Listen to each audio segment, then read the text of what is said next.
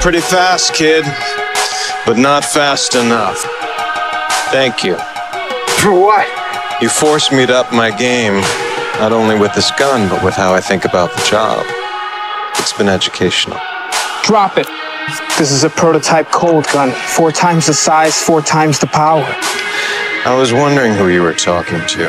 Hey, unless you want to taste your own medicine, I'd back the hell up. Your hands are shaking. You've never killed anyone. It's the first time for everything, Captain Cold. I will shoot you. You win, kid. I'll see you around. Hey, leave the diamond. Don't push your luck.